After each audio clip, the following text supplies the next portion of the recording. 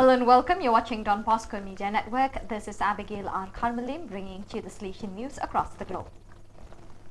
In the tranquility of Mount Don Bosco, Kotagiri, the meeting of the Salesians in their quinquennium from Chennai and Trichy provinces took place from 21st to 22nd July with a total of 46 participants. The first day opened with the celebration of the Eucharist and morning prayer led by the Vice Provincial of Chennai, Father John Alexander. A lively discussion followed with the participants divided into different groups talking about the joys and challenges inherent in Salesian priestly life. It was an enriching moment of exchange and mutual understanding. The day ended with the good night offered by Father Agilan Sarprasadam, Superior of the Salesian province of Trichy. On the second day of the meeting, a round table was held led by Father Alexander, during which Father Sarpra Saramp and Father Bosco Lourdusamy, Superior of the Province of India, Chennai, also spoke. The group discussed Salesian religious life, focusing on community experiences. The exchange of experiences and the outlining of the expectations of the young Salesians gave rise to a rich and transparent conversation. The event therefore provided the priests with an exemplary platform to share ideas, learn and grow, greatly enriching their spiritual journey individually and collectively.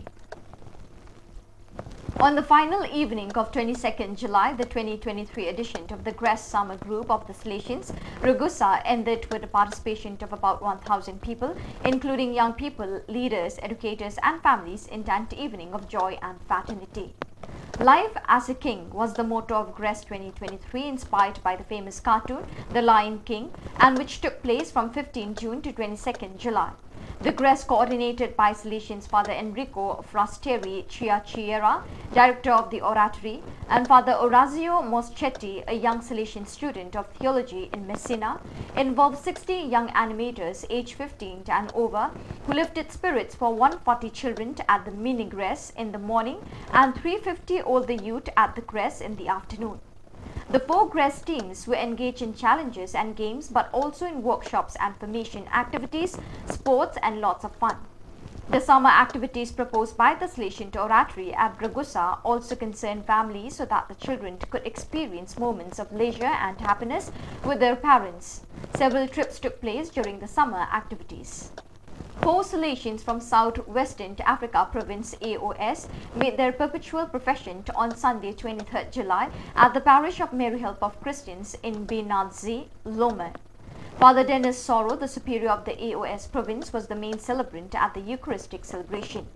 During the homily, he recalled the meaning and implications of perpetual profession for the consecrated person. The Salesian cooperators from the St. Dominic Savio Center in Bellflower have supported the St. Dominic Savio Summer Camp, which takes place at the center and is intended for disadvantaged children of the community. In particular, on 11 July, the Salesian cooperators, meeting together in the kitchen, prepared many sandwiches to give to the young participants in the summer camp. The latter is also always open to receive food and other donations which are then shared with the children who attend it. On 21st July, 58 young people concluded their experience of youth volunteering. The Salesian Family Ecuador VJMFS in Spanish volunteer experience. It concluded with an emotional Eucharistic celebration and a formation, prayer and meditation meeting on the theme of being salt and light of the world. The experience has left them with deep personal growth and the certainty that their dedication and service can make a difference in today's world. During the closing meeting, the young people made it clear that volunteering has left an indelible mark on their lives as they have discovered a deep meaning in serving others and have experienced how generous dedication can fill life with joy. The certainty that God accompanies them, sustains them and gives fullness to their existence further strengthens their commitment to be life and hope for today's world.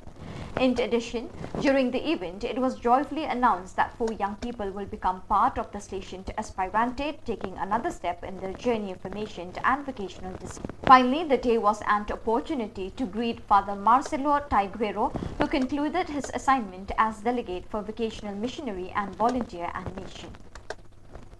So viewers, that is all we have for you today. Till we meet again, thank you for joining us.